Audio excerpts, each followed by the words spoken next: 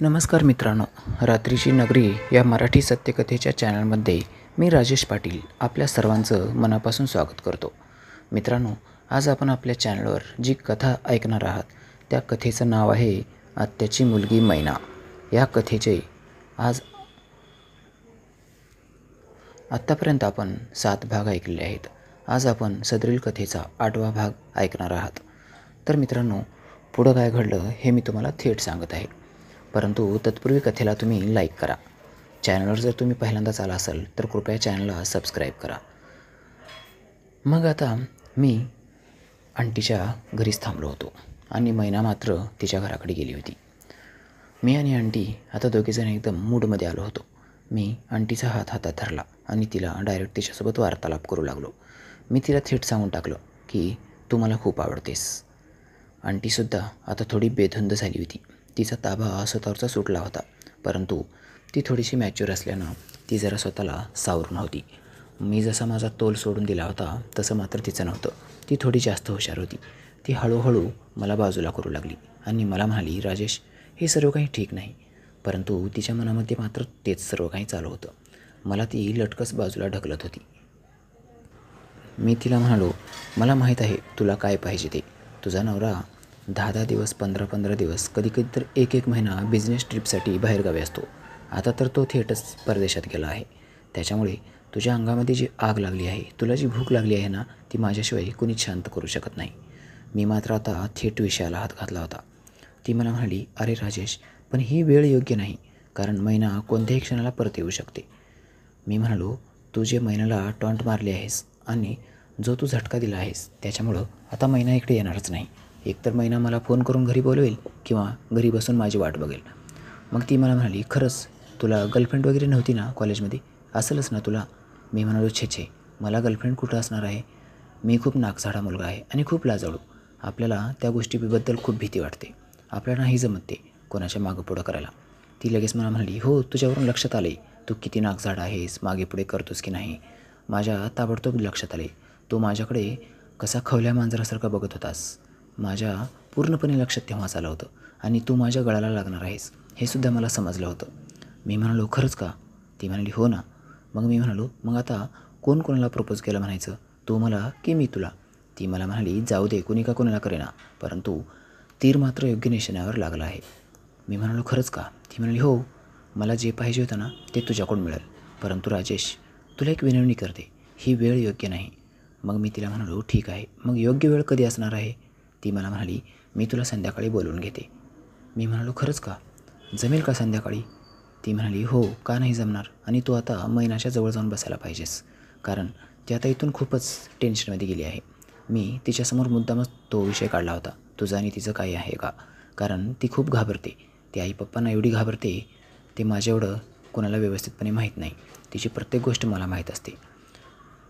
त्याच्यामुळेच तिला टेन्शन आलं. मी जर आई पप्पांना काही तुमच्या दोघांबद्दल सांगितले तर तिची काही खैर नाही हे सुद्धा तिला माहीत झालं. म्हणून तर ती एवढ्या तातडीनं आणि गडबडीने गेली. तसं मी म्हणालो आंटी तसं काहीच नाही ग बाई. ती लगेच म्हणाली मला आंटी पण म्हणतोस आणि ग बाई पण म्हणतोस. काहीतरी एक बोल ना. मी म्हणालो हो ग बाई तुलाच बोलतोय मी. ती परत हसू लागली आणि मला म्हणाली म्हणजे तुझ्या बोलण्याचं मर्म मला समजत नाही बघ. मी म्हणालो जाऊ दे तू नको लक्ष देऊ माझ्या बोलण्याकडं. ती म्हणाली ठीक आहे. मग काही वेळ असाच गेला. ती माझा हात हातात धरून बसली होती. एकीकडून ती मला मला म्हणत होती जा तू घराकडं. मैनाच्या जवळ जाऊन बस. तिला समजावून सांग की मॅनेज केलं आहे आंटीला सांगितलं आणि एक्सप्लेन पण केलं. माझ्यामध्ये आणि तुझ्यामध्ये काहीच नाही. आणि आंटी कुणाला काही आपल्याबद्दल बोलणार नाही. तसं बघितलं तर मी तुमच्याबद्दल काही बघितलंच नव्हतं. मी फक्त एक खडा आणि तो खडा योग्य जाग्यात लागतो आहे की नाही हे बघण्याचा माझा उद्देश नव्हता.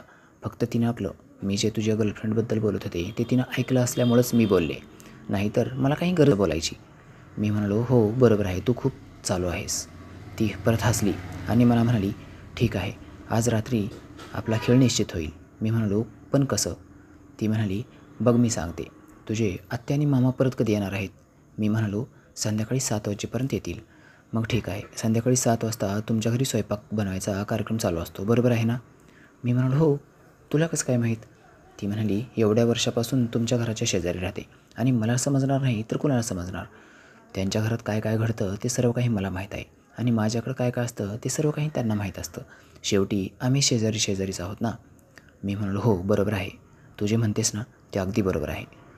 त्यांच्या घरात काय चालू आहे हे तुझ्या एवढं बेटर बाकी कुणाला माहीत असणार? मग ती मला म्हणाली हो. आणि मला आणखीन एक गोष्ट माहीत आहे. असं म्हणून ती जरा शांत झाली. मी म्हणालो काय? काय माहीत आहे? ती म्हणाली अरे बाबा वेगळं काही नाही. तुला काय एवढं टेन्शन यायला काय झालं? आणि एवढं का आधाशापणे विचारतोयस?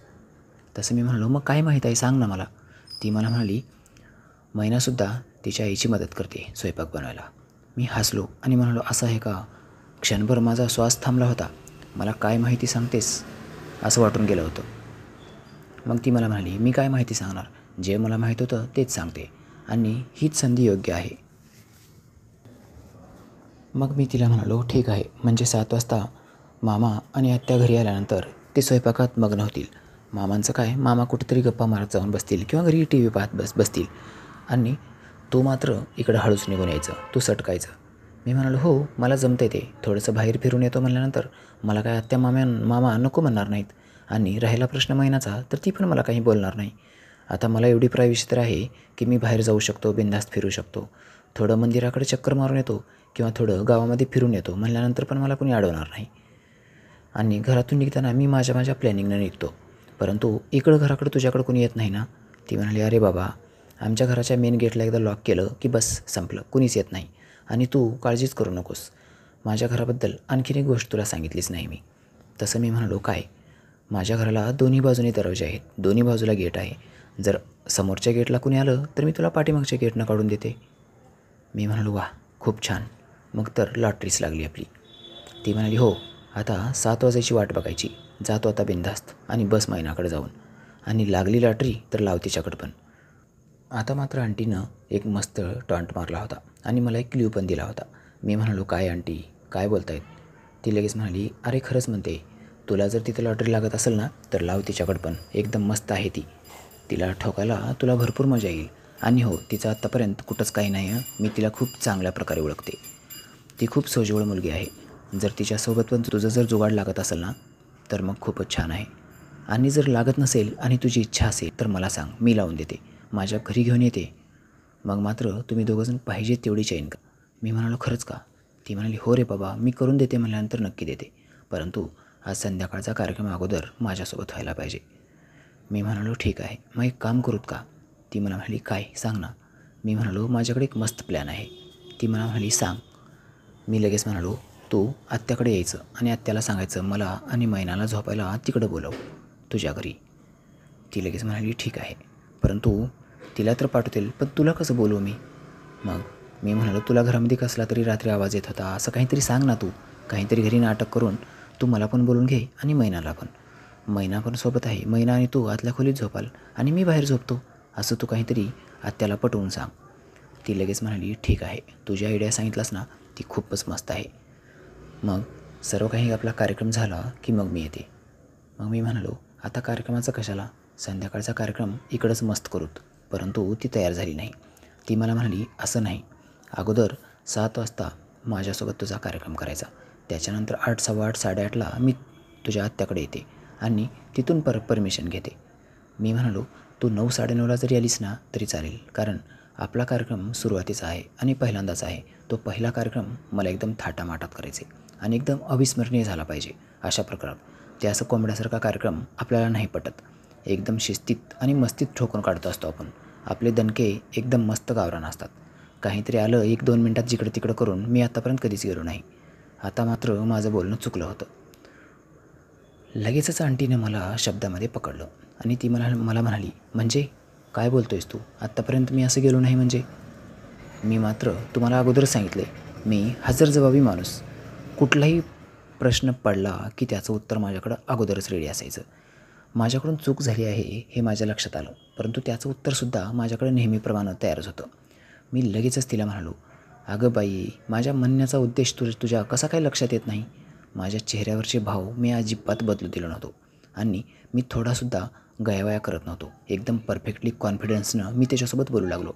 ती मला म्हणाली आत्तापर्यंत मी असं कधी केलो नाही असं म्हणतोयस. म्हणजे आत्तापर्यंत किती पोरींना तू ठोकून काढलंस?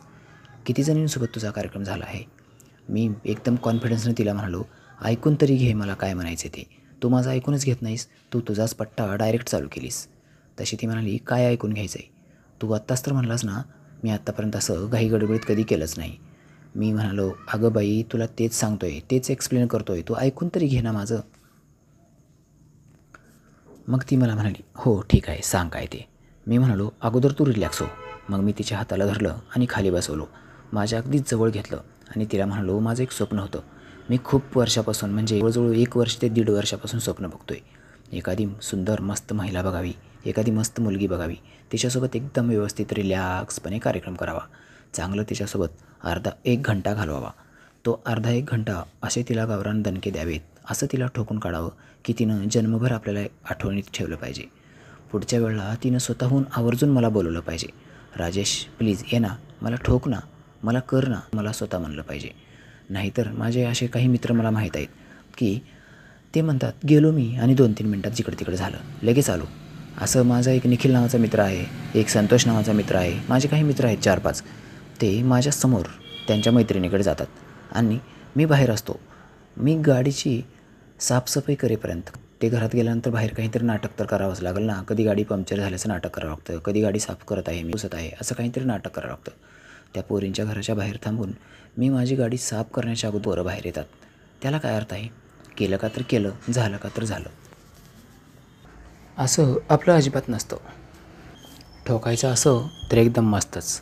माझे सर्व स्वप्न माझ्या सर्व कल्पना सर्व काही वेगळं आहे. आणि त्याच्यामध्ये मला जे काही करायचं आहे ते मी अगोदरच प्लॅन करत असतो. मी असंच ठरवलं होतं आणि कितीतरी दिवसापासून हाच प्लॅन माझ्या डोक्यामध्ये घोळत होता. त्याच्यामुळं तर मी डायरेक्टली असं बोललो. आणि तुला मात्र काहीतरी वेगळंच वाटलं. मी माझं बोलणं तिला इतकं हुबेहूब पटवलं होतं की तिला एकदम परफेक्ट समजलं. मी जे काही सांगत आहे ती फक्त एक फंटासी आहे. माझं कुठंच काही नाही हे तिच्या लक्षात आलं. मग ती मला म्हणाली हो बरोबर आहे राजेश. तू जे म्हणतोस ना ते अगदी बरोबर आहे. मला खात्री पटली आहे आणि तू जे सांगितलंस ते पण मला पटलं आहे. त्याच्यामुळं तू आता एकदम रिलॅक्स राहा आणि मला पण रिलॅक्स राहू दे. आता वाट बघू आपण सात वाजायची. ठीक आहे ना? आणि तू म्हणतोस तसंच अगदी मस्त मला ठोकून काढ. तू म्हणल्याप्रमाणे चांगलं तू एक घंटा दीड घंटा तुझ्या जे जेवढी तुझी कॅपॅसिटी आहे त्या कॅपॅसिटीप्रमाणे तू मला मस्त ठोकून काढ. आणि हो तू मला एकदा का ठोकून काढलंस की तू मला दिवाणी बनवून टाक. तू मला दिवाणी बनवलास ना मग मात्र मी खरोखरच तुझे उपकार कधीच नाही विसरणार. मी तुला एवढं मानायला तयार झाले एवढं तुझ्या सर्व मनाप्रमाणे सर्व गोष्टी मी करायला तयार झाले. मी म्हणालो हो ना तू आहेसच तशी. एकदम मस्त. मला खूप आवडलीस. आणि म्हणून तर मी हा सर्व प्लॅन केला आहे. मग ती म्हणाली आता सात कधी वाजतील याकडंच माझं लक्ष लागलं आहे मित्रांनो मग मी तिथून तिथून निघालो आणि थेट मैनाकडे जाऊन बसलो. घरी गेल्यानंतर काही वेळ मैना माझ्यासोबत बोलली नाही. त्याच्यानंतर ती मला म्हणाली काय झालं रे? काय म्हणली आंटी? मग मी तिला एकदम पटवून सांगितलं. अगं बाई तिला आपल्यावर संशय आला होता. परंतु मी केले सर्व काही मॅनेज. आपल्यामध्ये कुठं काही नाहीच हे मी तिच्या लक्षात आणून दिले. आणि ते पटलं का रे? मी म्हणालो हो मी आहे ना पटवायला. मग ती लगेच म्हणाली ठीक आहे. बरं बाबा तो होतास म्हणून. नाहीतर माझी काही खैर नव्हती. तिच्या मनामध्ये काही नसतानाच संशय आला होता. आणि रिकामा कुटाणा झाला असता. आज घरी आई पप्पा आल्याबरोबर तिने जर काही लावून दिले असते ना मग तर माझी काही खैरच नव्हती. रिकामा कोटाना झाला असता. मी म्हणालो हो ना रिकामा कुटाणा तर झालाच असता. मग मी म्हणालो आता पुढचा बेत काय आहे? ती मला म्हणाली काही नाही आता तू मला एकदा मस्त एकदम रिलॅक्स शांत करून टाक. मी म्हणालो कसं? ती म्हणाली आता ते पण मीच सांगू का? मी म्हणालो ठीक आहे तू नको सांगू मला माहीत आहे तुला कसं शांत करायचं आहे मग मी तिला हळूवारपणे मिठीत घेतलं आणि तिच्या पूर्ण अंगावरून हात फिरवला आणि तिला म्हणालो बाकी सर्व काही संध्याकाळी. आता माझा मूड नाही आहे कारण त्या आंटीनं उगाचच दिमाग खाल्ली. आपण तिच्या घरी गेलोच नसतो तर सर्व काही झालं नसतं. ती लगेच म्हणाली नाही रे बाबा आपण जर तिच्या घरी गेलो नसतो तर तिला परत संशय आला असता. आणि तिनं काहीतरी भलतसलतं करून टाकलं असतं. आपण गेलो म्हणून पण बरं झालं. आणि तू होतास म्हणूनच ठीक झालं. नाहीतर रिकामाच कुटाणा काहीतरी झाला असता आणि तिनं नाही ते कुटाणा लावून दिला असता. मी म्हणालो हो ते पण बरोबरच आहे. मित्रांनो आता मैना थोडी शांत झाली होती. तिला माझ्याबद्दल थोडीशी आपुलकी वाटू लागली होती. मी जे काही केलं ते एकदम योग्यच केलं असे तिला वाटत होतं. परंतु संध्याकाळचा काय प्लॅन आहे आणि मी काय ठरवलं होतं हे तिला काही माहीत नव्हतं. मग रात्री काय घडलं कसं झालं आत्या मामा घरी आल्यानंतर आंटी घरी कधी आली तिनं घरच्यांना कसं मॅनेज केलं ह्या सर्व काही गोष्टी पुढच्या भागामध्ये ऐकायला राहायचं नाही. तोपर्यंत बाय बाय धन्यवाद. कथेला लाईक करा आपल्या चॅनलला सबस्क्राईब करा. भेटूया कथेच्या पुढील भागामध्ये.